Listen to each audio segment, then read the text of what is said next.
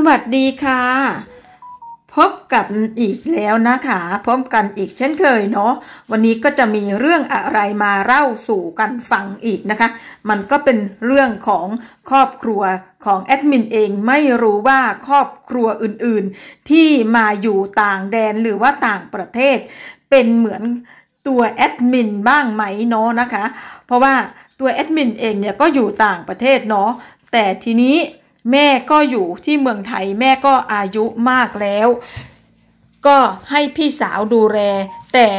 ก็ส่งเงินให้พี่เขาทุกเดือนนะคะ เป็นเงินหนึ่งเดือนละหนึ่งหมื่นบาท เพื่อที่จะช่วยให้พี่สาวได้มีเงินนั้น ดูแลแม่ ซึ่งอายุมากแล้ว ทีนี้พี่สาวก็ได้รับเงินทุก สองอาทิตย์นะคะ ครึ่งเดือนก็จะส่งเงินไปที ทีละห้าพันเพราะว่าเดือนละหมื่น แต่ไม่อยากที่จะให้ทีเดียวเป็นหมื่น จะให้ทีครั้งละห้าพันเดือนหนึ่งก็คือสองครั้ง ครั้งละห้าพันก็หมื่นหนึ่งเนาะทีเนี้ยเงินขนาดเงินหนึ่งหมื่นบาทที่ส่งให้ทุกเดือนเขาก็ยังไม่พอทุกคนมีความเห็นอย่างไรบ้างกับเรื่องนี้นะคะว่า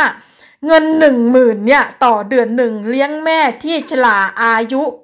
98 นะคะ แม่อายุ 98 นะคะ เดินไม่ได้แล้ว พี่สาวเป็นคนเลี้ยงแม่ ตัวพี่สาวเองก็อยู่คนเดียว คือสามีเขาก็เสียแล้วลูกๆ เขาก็มีครอบครัวไปแล้ว แต่เงินหนึ่ง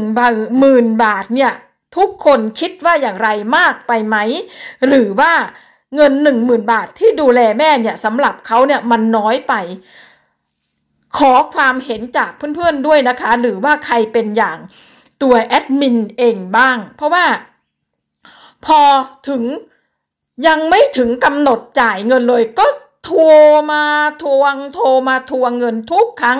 แต่ถ้าโทรไม่ติดก็จะโทรอยู่นั่นแหละจนกระทั่งว่า อ่าส่งเงินหรือยังส่งเงินหรือยังแม่ไม่มีอะไรจะกินแม่ จะต้องไปซื้อกับข้าวให้แม่กิน เงินหมื่นหนึ่งน่ะ แม่กินหมดเหรอเดือนหนึ่งอะต่อ ต่อเดือนหนึ่งอะลองคิดดูสิเขาคงคิดว่าคนที่อยู่เมืองนอกเนี่ย คนที่อยู่ต่างแดนเนี่ย มีเงินกันทุกคนหรืออย่างไร เราก็ต้องทำงานมีครอบครัวของตัวเองเหมือนกัน ไหนจะครอบครัวทางบ้านไหนจะเงินที่ต้องใช้จ่ายภายในครอบครัว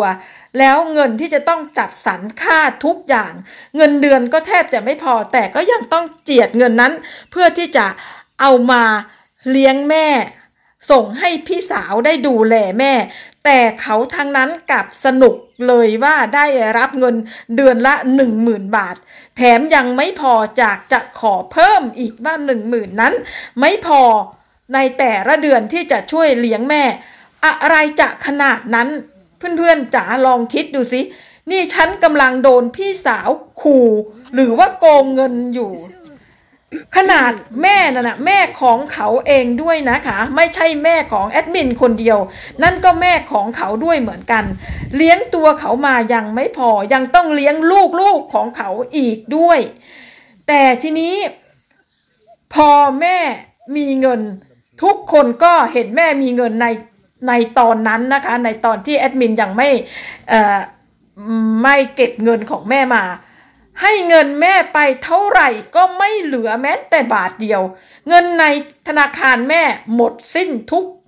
สตางค์เลยนะคะ เขาเอาไปจนหมด ทีนี้แอดมินก็เลยไปถามว่าทำไมเงินแม่ไม่เหลือเลยในธนาคาร เขาก็เลยบอกว่า ก็ใช้จ่ายในเรื่องของแม่นี่แหละ ของทุกอย่างมันแพง เขาก็พูดอย่างนี้เนาะทีนี้แอดมินเองก็ไม่อยากที่จะไปว่าเขาเพราะว่าตัวเองไม่ได้ดูแลแม่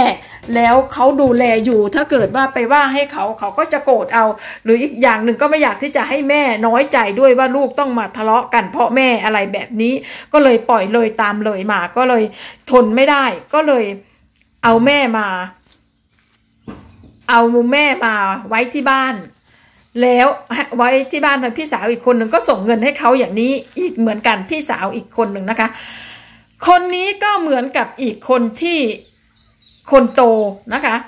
เรียกร้องเอาแต่เงินเหมือนเดิมหมื่นหนึ่งไม่พอจะขอหมื่นห้าจากหมื่นห้า บอกว่าแอดมินบอกว่าให้ไม่ได้ให้ได้แค่หมื่นเดียว เพราะว่าตัวเองก็เป็นลูกเหมือนกันทำไมจะต้องมาขู่กันโชคกันขนาดนี้ ตัวเองเลี้ยงแม่ตัวเองนะ ไม่ได้จ้างให้เลี้ยงแม่นะ หรือว่าแม่คนอื่น หรือว่าแม่เลี้ยงนี่แม่ในไส้ของตัวเองแท้ๆยังจะมาขู่กันโชคเอาเงินกันอีกเหรอ ถ้าไม่พอก็แล้วไปมันอยู่ในนั้นนั่นแหละ พอก็พอไม่พอก็ตามแอดมินก็เลยว่าอย่างนี้นะคะ เขาก็เลยเงียบไป ทีนี้อยู่มาไม่นาน ลูกๆของเขาเนี่ยของพี่สาวก็ต้องการเงินอีก ก็โทรมาอีก ขอยืมเงินบ้าง ขอเงินบ้างในส่วนที่ในส่วนที่จะต้องจ่ายให้แม่เขาเป็นค่าเลี้ยงดูแม่ตัวเองอะนะคะ เป็นค่าเลี้ยงดูยายนี่แหละ ก็บอกว่าขอเงินก่อนได้ไหมเดือนนี้ เอาเป็นเดือนหน้าก่อนก็ได้ เอาเดือนหน้าไปเป็นเดือนนู้น จะขอเบิกทีละสองเดือนเธอจะขอเบิกทีละสามเดือน นี่อะไรกันนักหนาใครเป็นเหมือนกับตัวแอดมินบ้างนะคะ แต่ดิฉันก็ไม่ให้นะคะ เพราะว่ามันเกินไปถ้าเกิดให้ไปก็จะถามเอาอีก ถ้าเกิดให้ไปก็จะถามเอาอีกอยู่เรื่อยๆ แบบนี้ก็เลยบอกว่าตัดสินว่าไม่ได้ คือเดือนหนึ่งจ่ายให้เดือนละสองหนหนละห้าพันบาท เท่านั้นจะไม่จ่ายให้มากไปกว่านี้อีก ถ้าเกิดไม่พอก็ต้องไปหาเอาที่อื่น ถ้าลูกของพี่สาวมีปัญหา พี่ก็ต้องดูแลแก้ไขกันเอาเอง ไม่ใช่ว่าจะเอาเงินที่ให้แม่เนี่ยไปโปะลูกตัวเอง ถ้าแม่ไม่พอกินก็เป็นความผิดของพี่ แต่พี่อย่าเอาเรื่องของลูกมาให้พวกหนูต้องรับ เป็นภาระมันคนละเรื่องกัน ก็เลยว่าให้พี่สาวไปเนาะนะคะ แต่ทีเนี้ยเขาก็ยังไม่หยุดเขาก็ยังจะรุกว่าจะขอเงินขอเงินจากแม่อยู่นั่นแหละนะคะ พอ จะจ่ายทุกวันที่หนึ่งอย่างวันที่หนึ่งเนี่ยจะต้องโทรไปแล้วนะคะ จะต้องโทรมาหา บอกว่าจ่ายเงินหรือยังเดือนเนี้ยจ่ายก่อนกำหนดได้ไหมอ้าวอ่าพอจ่ายก่อนกำหนดให้ พอถึงกำหนดครั้งหน้ามาก็บอกว่าจ่ายเพิ่มมาอีกได้ไหมอยู่อย่างนี้ตลอดทีนี้แอดมินก็เลยตัดสินใจว่า ต่อไปเนี้ยไม่ต้องมาถามนะ แล้วก็จะไม่ให้อีกแล้วเงินนั่นจะให้เท่าที่เราพูดกันเท่าที่กำหนดให้เดือนละเท่านี้ แล้วถ้าเกิดว่าพี่ไม่พอก็มันเป็นเรื่องส่วนตัวพี่ก็ไปหาเอาที่อื่นก็แล้วกัน อันนี้เนี่ยที่อยากจะมาเล่าให้ฟังเท่านั้นว่ามีใครเหมือนดั่งแอดมินเองบ้างนะคะ เหมือนดั่งดิฉันบ้างที่ พี่สาวตัวเองเลี้ยงแม่ตัวเองแท้ๆก็ยังมาขู่เอาเงินกับน้องๆ ว่าเงินแม่ไม่พอใช้ต้องการเงินเพิ่ม หรือไม่ก็ต้องการเงินอีกครั้งเดือนละไม่รู้ว่ากี่พัน ใครเป็นอย่างนั้นมั่ง อยู่เมืองนอกก็ไม่ใช่ว่าจะมีเงินกันทุกคนไปนะคะ งานก็ต้องทำเงินก็ต้องหา ครอบครัวก็ต้องดูแล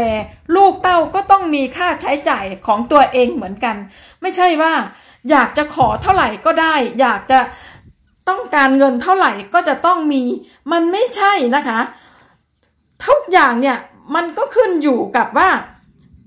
เราจะให้เขาได้เท่าไหร่ เราจะทำอย่างไรแต่ไม่ใช่มาขู่กันโชคเอาเงินกันอย่างนี้ ยังไงก็หลายๆคนมีความคิดเห็นในเรื่องนี้ยังไงก็คอมเมนต์ไว้นะคะ คลิปนี้ลาไปแล้ว ขอบคุณทุกการรับชมนะคะ สวัสดีค่ะ